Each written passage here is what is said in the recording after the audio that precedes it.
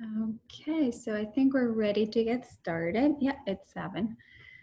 So, welcome everybody to a new current conversations. We are very excited to have Beacon Superintendent Matt Landahl join us tonight.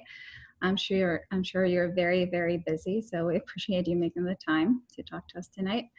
Um, we're going to be opening this for questions. You can send them along the way um, using the Q&A button that you'll find on your screen. Everybody's screen is different, so if you want to take a minute now to just see where that is, you can just send us your questions along the way, and we'll try to get through as many as we can in the time we have.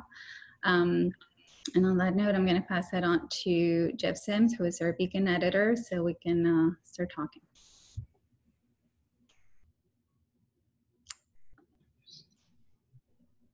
Can you hear me, Teresa? Okay, great. Thank you. Victorious Jackson. Okay, Dr. Landahl, you, are you there? Uh, yeah, yeah, I'm here. Okay. All right. Thank you for joining us. Um, as Teresa said, I'm sure you have done a couple of these Zoom calls by now. You've got this down pat, right? yes. You know, honestly, yes, I guess so. honestly, the first question I wanted to ask you is, how are you doing? I mean, this this is a massive lift that has been required of the school district to prepare for reopening, and I hope you've had a chance to try to catch your breath because I know this is probably not how you anticipated summer vacation. out.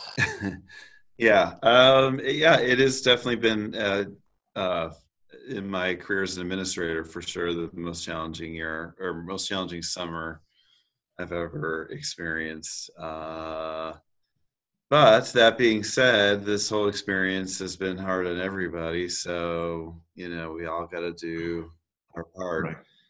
So you know. here we are. Everyone's figuring out new ways to do everything, so we need we need to do that too. Onward and upward. um, so I'm going to start with the three kind of basic questions. Um, we've posed these to other districts and some of the private schools in the area. We're trying to get this the real basic information out for readers. Um, there's three options out there: uh, an in-person return, you know, for students, uh, a hybrid model, and uh, all virtual. What's Beacon going with? I know you had to prepare all three for the uh, the reopening plan you sent to the governor. Right. Um, we uh, the, the main thing we're moving forward with is uh, is a hybrid plan. Um, I uh, I always people who have been working closely with me can attest to this. But the the the notion of in person, like full in person, at least for us in Beacon, uh, with the social distancing requirements, et cetera, uh, seemed pretty impossible. Um, so we've always been kind of focused on hybrid, and then and then when the governor, or not the governor, but when the state put out their guidelines uh, back in mid mid July um, and the guidelines, you know, were a little different between Department of Health and Education, but essentially to provide remote uh, learning opportunities for, you know, students with health conditions or with family members with health conditions or if they're uncomfortable. So, so right now we're moving forward with uh, you know hybrid uh, a hybrid plan and a remote plan for folks who choose that. Right, and then for folks who do come in into the buildings, masks are required, I believe, for students and staff with some breaks, you know, in the day. Is that right? Right.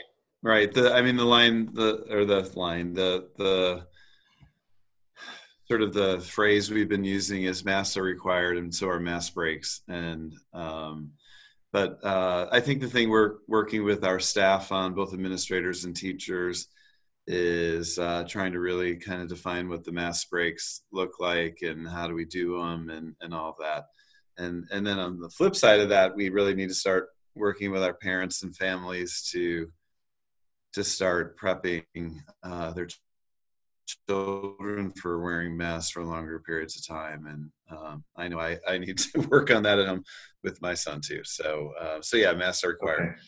Okay. Um, so I know we've got listeners who are probably going to send in questions. I had said to you earlier that I had a handful that came out of the, the school board meeting last night.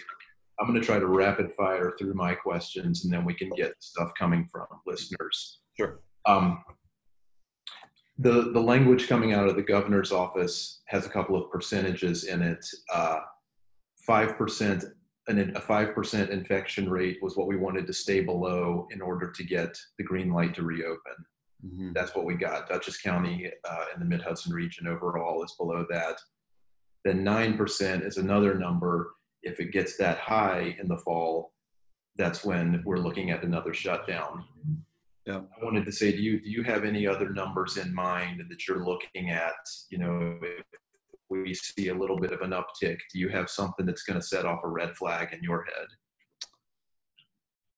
Uh, I mean, I, I think I think the governor's numbers are the ones that we'll kind of officially use, but you know, we'll be monitoring obviously everything on a daily basis and and whatever the numbers are uh, in in Dutchess County or the region, um, you know, if if there's a case, if there's a confirmed case in our schools, then that you know triggers a set of actions um, kind of regardless of what the outside numbers are.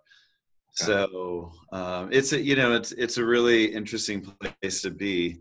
Um, you know i don't know about anybody else but back in march and april i i don't think i would have predicted um, that new york's numbers would be this be this low after after being so terrible and um, so anyway, I it, it's it's a really interesting place to be. Um, but uh, but yeah, I mean we.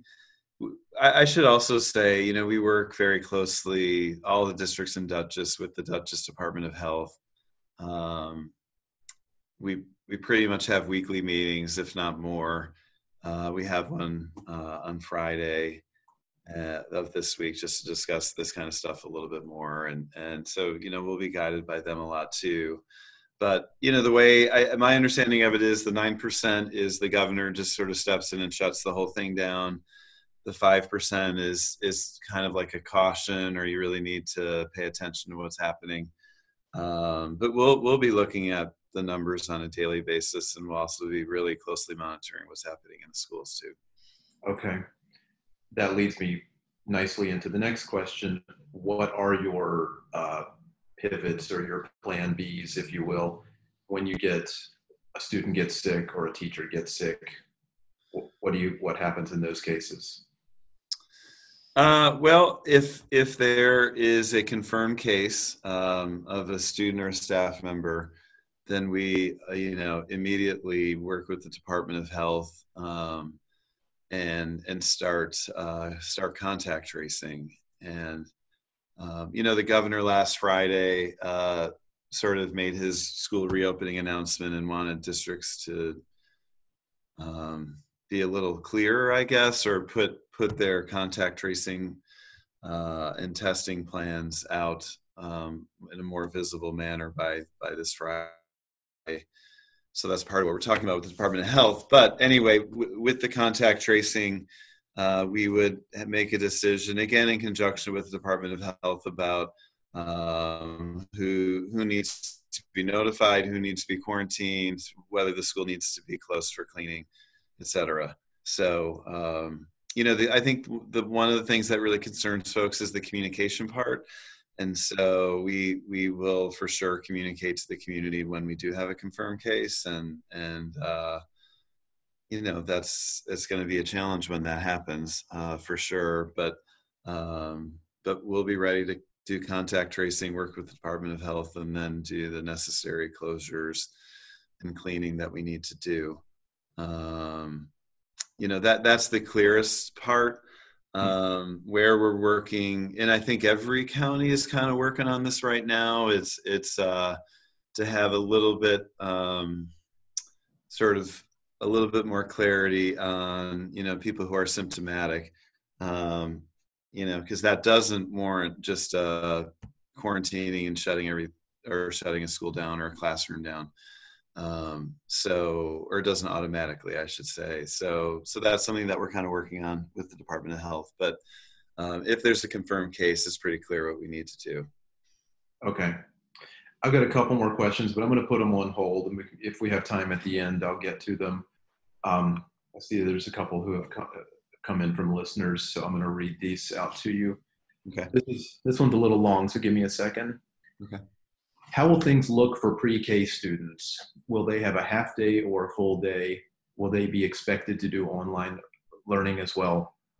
Will the district require students or parents to take surveys each week, like this person does at work? For example, asking if they have recently traveled to a, uh, state that requires quarantine to make sure that students, teachers, and parents are adhering to state standards. Mm-hmm. I'll start with the second half. Uh, we'll actually be doing a survey every day. Um, we have both an app uh, that parents and staff will be able to use and an automatic email system, and so that will happen on a daily basis. And we're we're you know we're, we're well we have a procedure. Um, I mean everything I say is is something that we have a procedure on, but we need to refine it. Um, and so, anyway, we have a procedure for folks who don't fill out the survey, um, especially students. Uh, I mean, actually, it would be the same for staff. I shouldn't say that that that we would do it um, when they arrive um, at the building. Um, so that's that's you know you, you could have a number of students who don't fill it out, and so we need to you know really work on what that's going to look like and how many adults will be involved. But we'll be doing that every day. Uh, the guidelines were really clear that they really stressed that they wanted uh, these are the state guidelines I'm talking about that they wanted this done at home uh, as much as possible. So that's what we're going to try to do, but we're also prepared to screen people at uh, school and any visitor, even though this year there won't be many visitors to school. Any visitor to school will be screened uh, at both temperature and and to do that sort of symptom checkoff thing as well. Okay. Um, pre-K, pre-K is is a little bit of work in progress, and of Zooms, and um, we're really working hard on the communication part. And and I also know, and I just want to acknowledge this with people listening that we, you know, at times don't can't deliver the the the depth of information that people want, but pre certainly have an in-person component. Um, I'm not really certain for pre-K that there would there would be an online part, like in any sort of uh, deep way. Um, I mean, possibly check-ins, like a teacher just sort of checking on a student and saying hi, or maybe doing a short activity. But I think the the uh, sort of out of school part would be working on some skills and whatnot that the teacher would put together.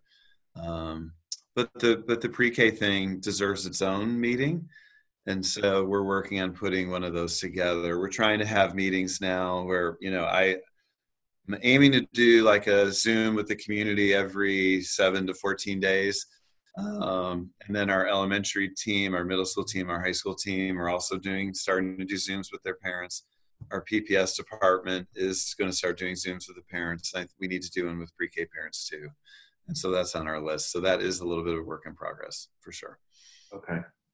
Here's another one from a listener. How will absences be tracked this year when kids are more likely to stay home more than usual because of sniffles or something like that? Right. Um, it, it's uh, it, so the state uh, the state is asking us to to track students daily, and by that, you know, when students are home doing remote work that we that that we're sure that we're doing like a daily at least at minimum a daily check-in and that we're doing some sort of attendance procedure. But the the flip side of that is we certainly don't want anybody coming to school who's the slightest bit excuse me uh slightest bit sick. And so uh you know attendance policies from the past uh that uh you know I'll say the word encourage people, you know, to come to school and to not have a lot of absences, uh, or at least temporarily a thing of the past.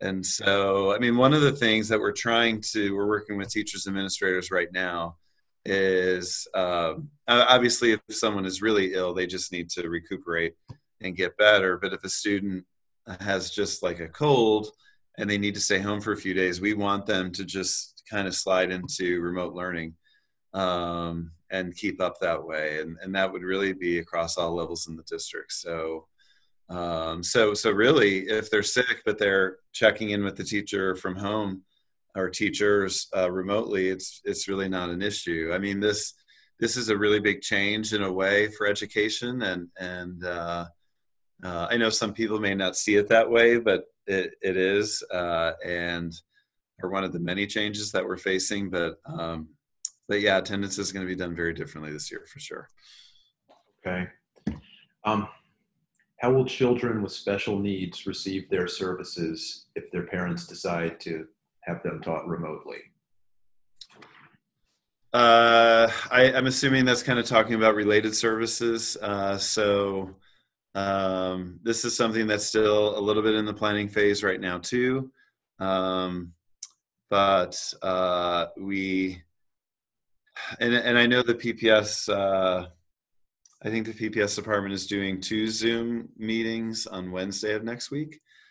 Mm-hmm. Uh, I think one in the morning and one in the evening. I'm going to put this out in an email tomorrow to everybody in the district so they can get a little bit more specific. But we are working on a plan that students would get those services. Um, I, I, think one of the things we're looking at is on, you know, in our hybrid model, Wednesday is the all remote for everyone day. Um, but we're we're foreseeing that uh, some services are provided, like related services to students on that Wednesday as well. So that could be a way that we address some of the services, but it is still uh, a little bit, um, a little bit sort of a, it's a bit of a work in progress. Um, but I know that uh, the teachers and the administrators for PPS are really working on that one too. Okay. Um, for for students who are doing who excuse me for students who are doing distance learning only, will there be a day for them to meet their teachers? I'm, I'm guessing before the year starts is what that would mean. Uh, yeah, I, I mean, we uh, we haven't you know formally adopted this, but we're looking at September 10th and 11th. Uh, and honestly, we might add a few days to this. I need to kind of analyze this a little bit more, but we're looking at at least a couple of days at the beginning of the year being or quote unquote orientation days. Mm-hmm. And in a sense, really orientation for everybody. So in a, it will be highly structured in that it'll be scheduled so we don't have large numbers of students uh, at any one time. Um, but we we for sure want uh, our remote students meeting teachers. We were thinking of the elementary orientations being outside, weather permitting, fingers crossed, and that you know they're spaced out, and uh, uh, and the teacher can meet and interact with really both parents and students. Um, one of our goals with the remote learners is that they really feel like they're part of a community, um, both with a teacher, with peers, um, and and you know this I haven't really talked a lot about, but like and I I, I don't really know what's possible. I mean I I, I totally understand some folks uh, if they're all remote just totally want to stay at home and we're, we wouldn't force this on anyone. Uh, but I've been thinking about if there's outdoor activities a class is doing and and a remote family if there's an opportunity for one of the remote students to join that outdoor activity for even just a small part of the day um, i would really be interested in trying to facilitate that like we we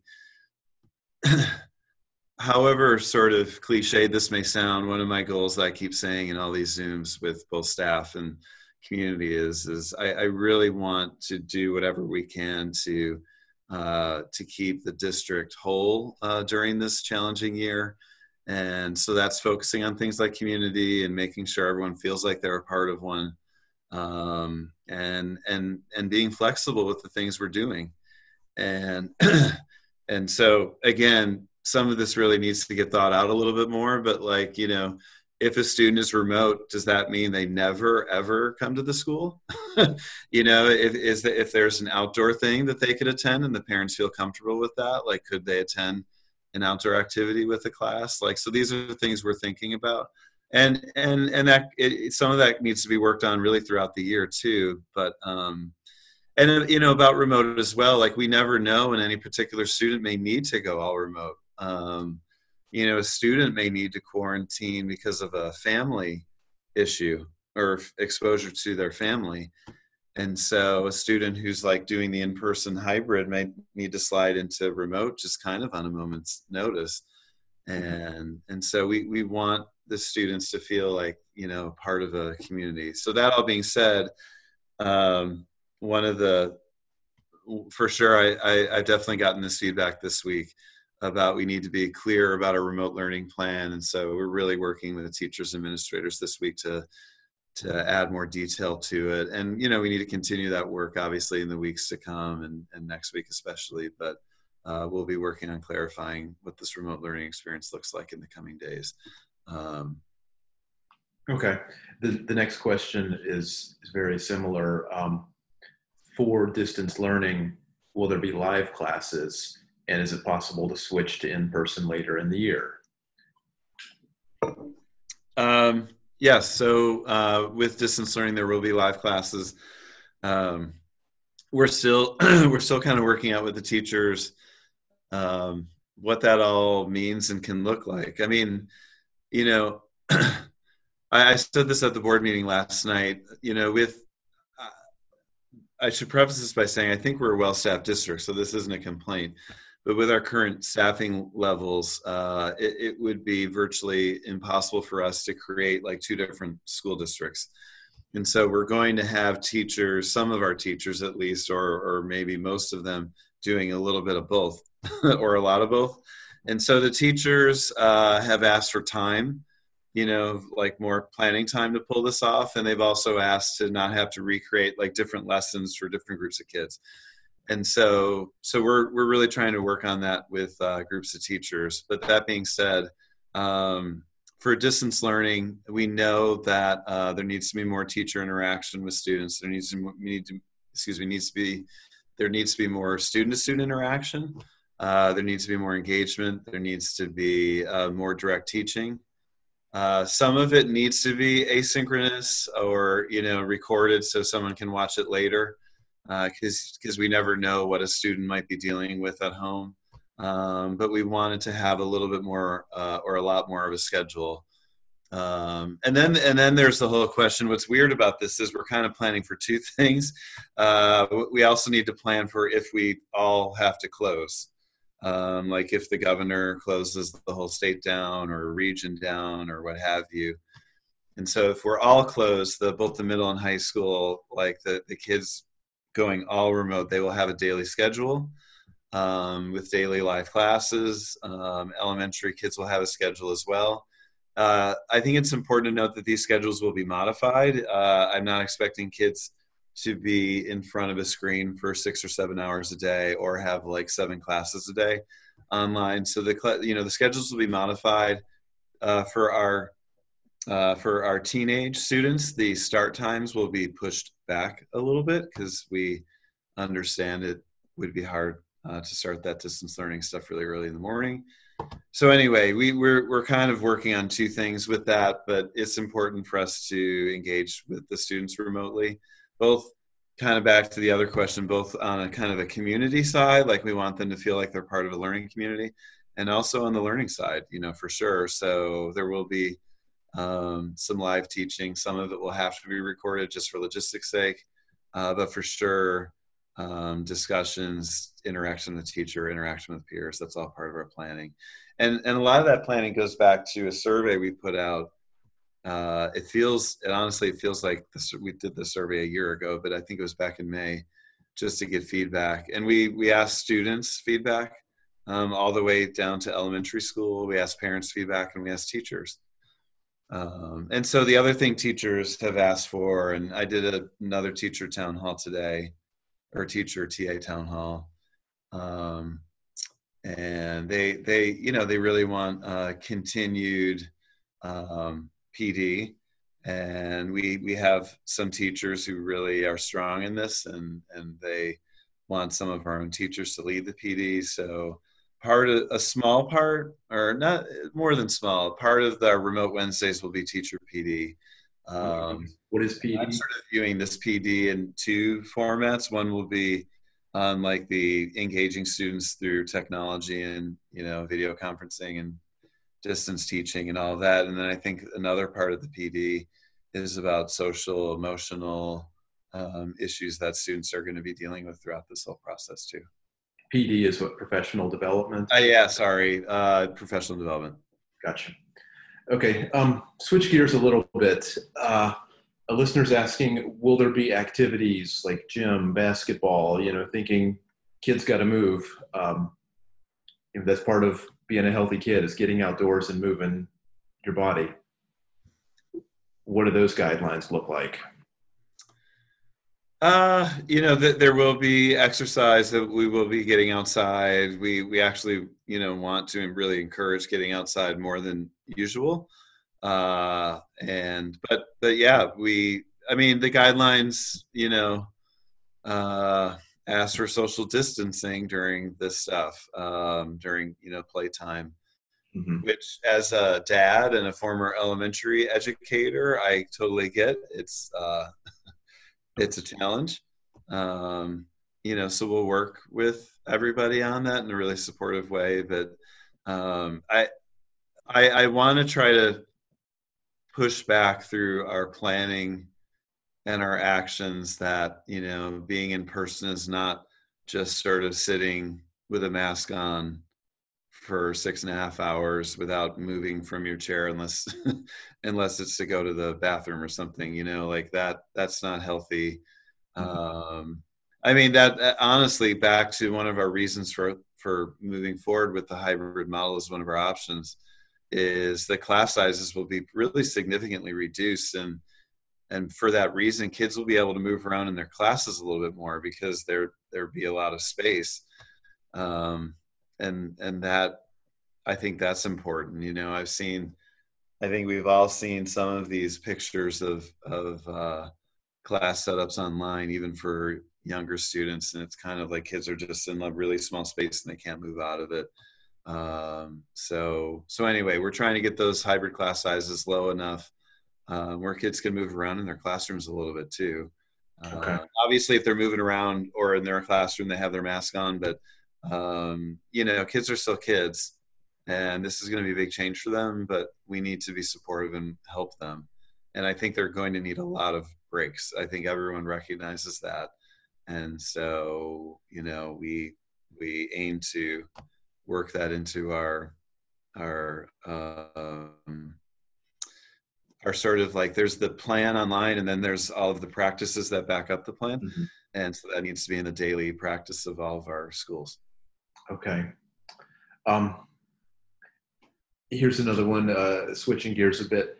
How can you be certain that students will keep their masks on during the bus ride to and from school? That's got to be tough. Yeah. Uh, I mean, you know, some of our buses have bus monitors, uh, some don't. Um, you know, our goal is that kids are really used to wearing masks and they will keep them on and we will work with them on keeping them on.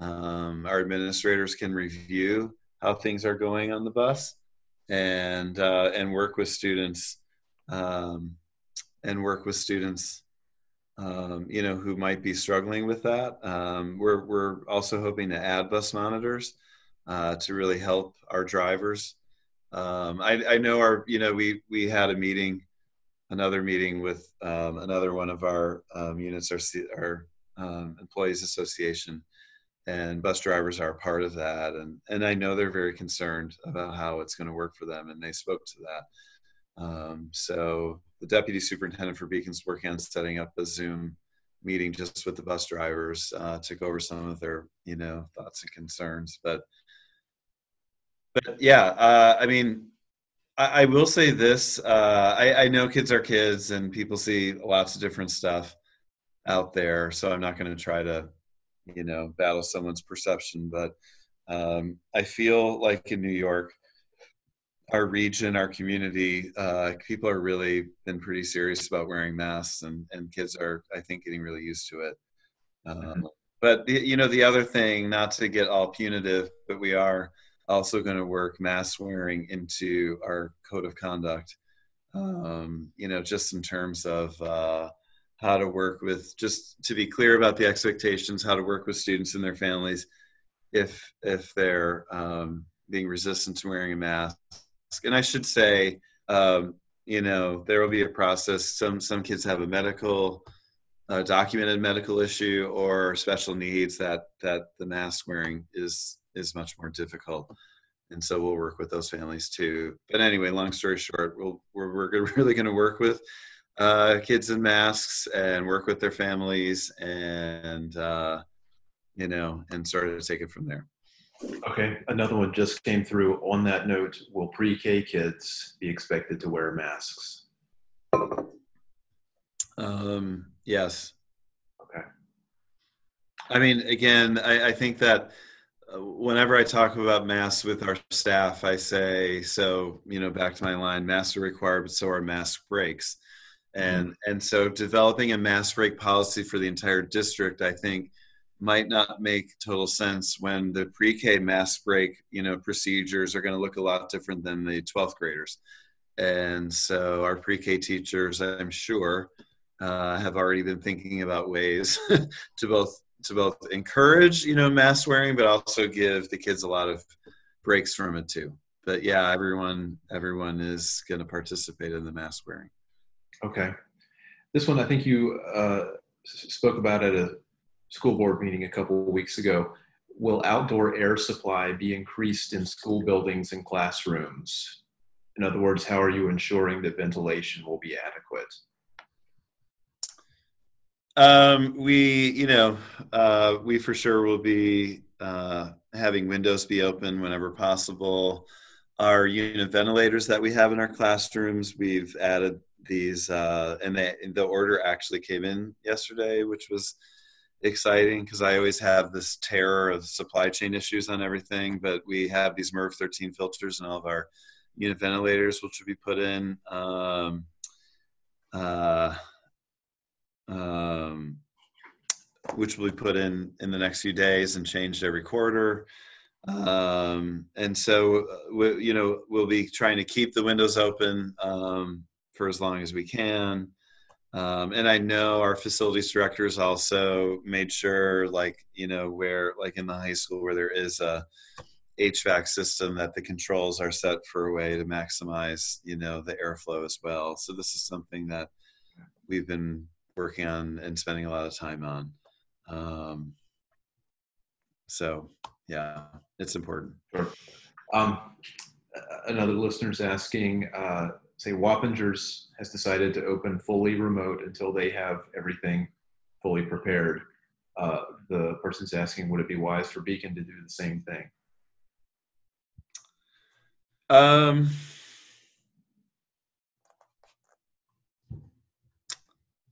You know, uh, I think some of these decisions happened last night in other districts, and uh, so I haven't had a ton of time to both sort of figure out what they're doing and and to process it.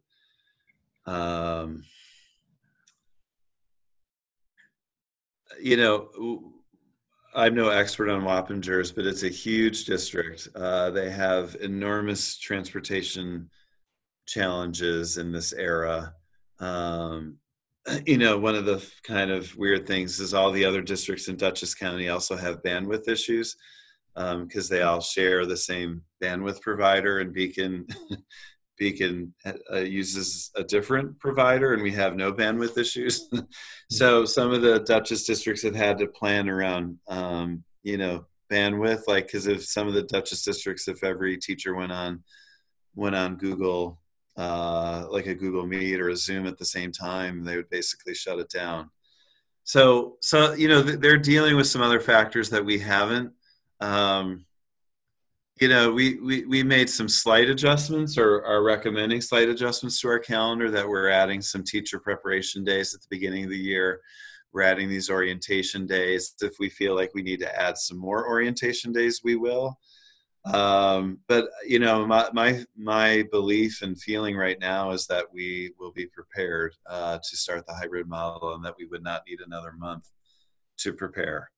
Um, but my communication, I think, uh, while not perfect, has been pretty constant with the community uh, through you know emails or Zooms or um, or whatnot. But uh, if if my opinion or feelings change, the community will hear about it if I feel like we need more time. Um, I, I, mean, I think one of the things uh, the the you talked about the numbers at the very beginning of this. The numbers in the region are very very low right, right now, and so um, so I I you know I feel like if if we have all of our preparations done, it, it would be really great to get the hybrid model up and going in September. Um, you know, and and I the I, I, I mean, even though we now the, the, superintendent group meets weekly or even more, so uh, so the pandemic has kind of brought us together in a deeper way than we ever were. I don't know all the ins and outs of the other districts. I, I do know, and again, I will never say that we've done this perfectly, but we've some of the things uh, for this we really started working on back in like May and June, and some of that was like ordering supplies and getting you know ppe ready and ordered and things like that. You know we had kind of an internal team of administrators working on um, you know what we called school recovery back in mid-june um, on a very sort of constant basis. So we've been working through some of these issues for a few months now. Um, I, I think right now where we need to be putting um, more of our time is like getting ready for the instructional side of things and because that i said at the board meeting last night it's very very complex what we're asking teachers to contemplate and implement. Um, so anyway i i don't you know i haven't talked to jose. I don't know all that went into their decision. I know some other districts are either pondering that or have already said they're doing it and then there's some other districts like us that are still kind of sticking with the september thing so what I always kind of try to promise with the community and the board is that uh, if if I start you know changing my mind on something because I don't feel like we're ready, um, I certainly will um, pull back and and change the plan. But we right now are you know we're working on this feels like every second of the day and um, and we're really working hard to be ready. Okay. Um, there's a couple that are just kind of logistical questions. And then Teresa, let me know uh, how we're doing on time. We're coming up on about 40 minutes. Um, logistical. Yeah, Jeff, I, I have those plans tonight. So I remember. I know we got to get you out of here in time. Yeah. Just for for all the listeners out there, Jeff called me today and said, "I'll try to end at 7:45 if if you have plans after after this. and I laughed just like I'm laughing now. Plans? Is that does that mean so, a social life or any sort of life beyond this right now? Right. Um, okay, a couple quickies then. Um, will water fountains be closed?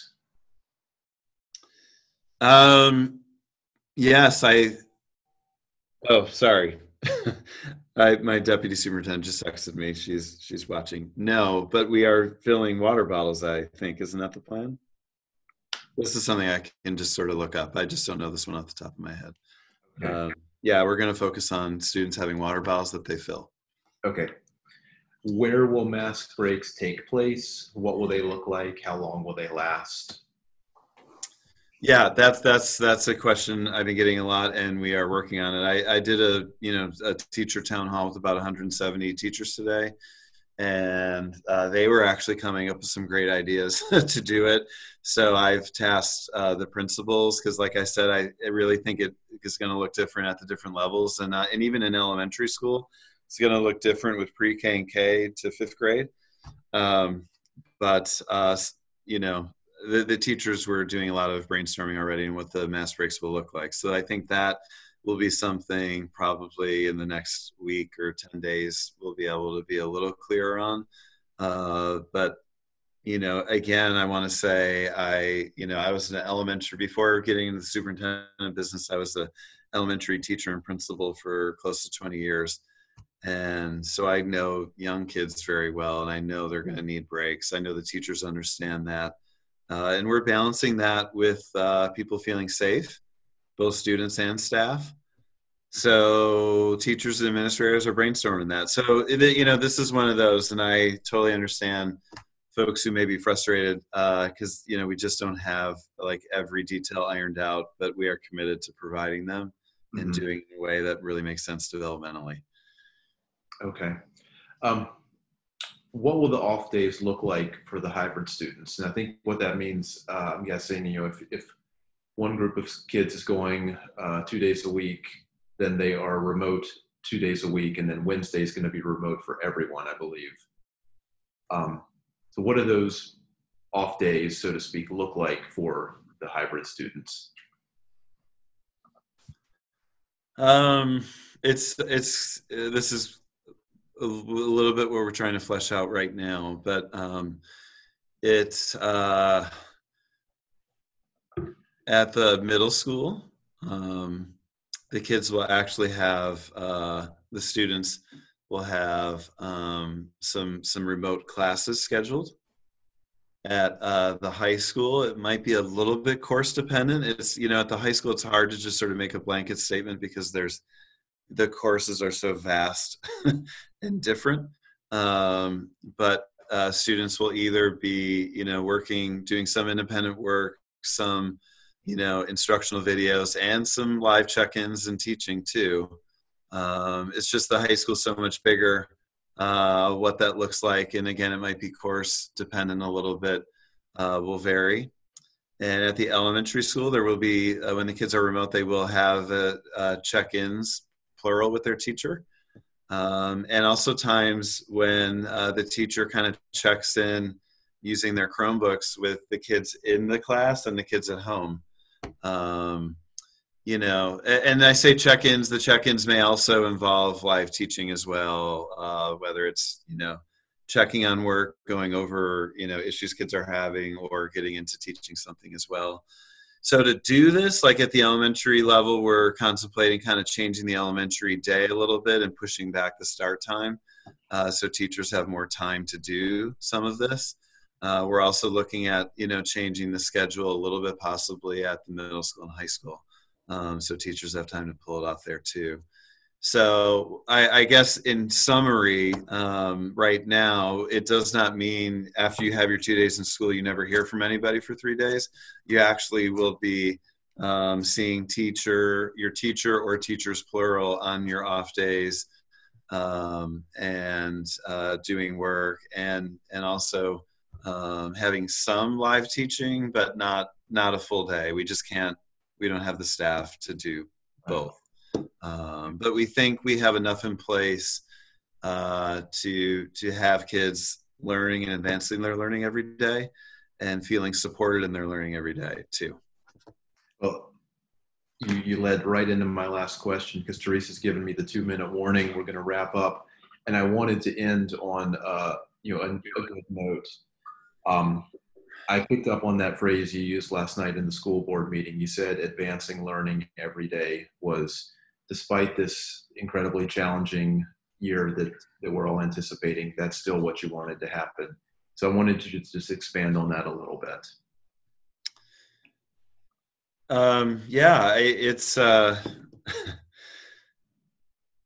I don't know the best way to enter into it, but, uh, you know, last spring was like a shock um, to everybody and it was it was uh, a shock to us educators. It just uh, you know we're all in this uh, because of our love of what we do, and and and it's always been in person. and then even though I you know we kind of were seeing it coming for a few days, it felt like our whole world got sort of pulled out from under us and um, and uh, and we also had a lot of families really struggling uh, with either people who uh, had COVID nineteen or you know had family members out of work or whatever, and so uh, our teachers did amazing things and our administrators did amazing things last spring. Um, but it was varied and um, it was, you know, it, was hard to just sort of develop a new system on the fly. Um, so, so this year it's been really cool this summer to be either having small group conversations with teachers and administrators or like I said today, we had a town hall with like 170 teachers and teaching assistants, and and you know, obviously, there's a lot of concerns people have and a lot of tough questions, but there's also just a lot of, you know, we got this and we're going to figure this out, and you know, uh, and we we just need some professional development or time or this new resource or whatever. So that all being said, like I I really want our community, like like I said, to feel whole and to feel like we're moving the ball forward you know and and that that learning is happening every day the kids feel like if they're at home i am checking in with people. I am learning stuff from a teacher. I am being able to connect with my peers um, on a daily basis and that uh, and kids who are in person are feeling that way. So so that's very important to me. It's very important to the teachers in this district. It's important to the administrators. It's important to all of our support staff. Um, so anyway, we're you know, it's daunting for sure, but it's also exciting. Like I, I, you know, I guess depending on the moment, I have different feelings, but but I also just I'm just really excited uh, to try to get this going and uh, and to do it safely and uh, and to start seeing everybody again, whether it's on a screen or in person or both. So um, so anyway, yeah, we're we are excited and um, happy to talk on Zooms whenever whenever invited. I can't help but pick up also on "you got this" because I remember that was your that was your go-to phrase the night that you were, I believe, introduced yeah. board meeting. Um, yeah.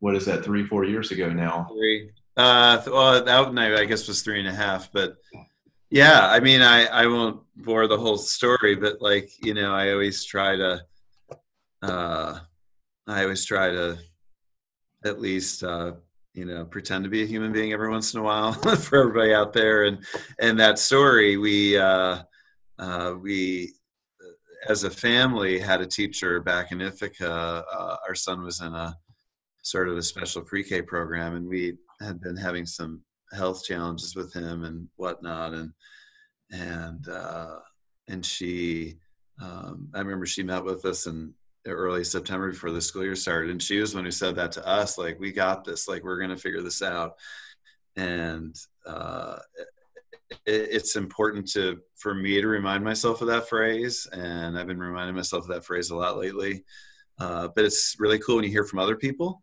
Mm-hmm. Um, and I heard it from some teachers today, and that was really exciting. And our administrators have been awesome. Um, just also, while I have this moment, just a shout out to our custodians and our grounds crew who've been working on those buildings, you know, every day since late April, and uh, our bus drivers who jumped in and were delivering food all during the school closure and helping even the summer with that. Um, you know, our office staff who have been coming in, helping everything get ready, our um, you know our school nurses who are jumping in and helping us plan, um, our security staff who some are working this summer and some are getting ready to help with all the school entry stuff. I'm probably forgetting somebody right now, and I apologize, but everybody's trying to figure this out. And so it seems like my job through all this is doing a lot of listening and communicating and you know trying to make sure we're in a good place in September. Um, so that's what we're working towards. Okay, well, thank you. Um, I think we're getting dangerously close to those plans you've got, so I'm gonna back over to Teresa. It's, it's close. I yeah. people are expecting me. No, uh, no, this has been great. Thank you. I I saw the numbers, and you know, I feel a little bad, Jeff, that I didn't hit the Haldane numbers. I feel a little competitive. Well, we're gonna have to come back and do it again then. I would like to think that the numbers were a little low because I've been doing so many of these town halls. Yeah, people maybe people are worn out of hearing from me, but this was great. Uh, and the questions were great for people who are listening. So thank you for being on. Thanks Well, for hosting. Thank you. Also, I, this can't be easy to, to take all this, you know, these rapid fire questions like this. So I appreciate you taking the time and Yeah. giving us thoughtful answers. All right. Thank you. Thank you so much for taking the time. And just to let everybody know, we'll post the recording probably tomorrow. So those who missed it or joined us after you know we had started, we'll post the full recording tomorrow. All right. That is good to know because I was talking with my sister uh, before this whole thing, and I told her, I sent her the link and said, You can watch this tonight. And she was like, No, I think I'm going to take a pass at that. But now I have a link I can send. All her. right.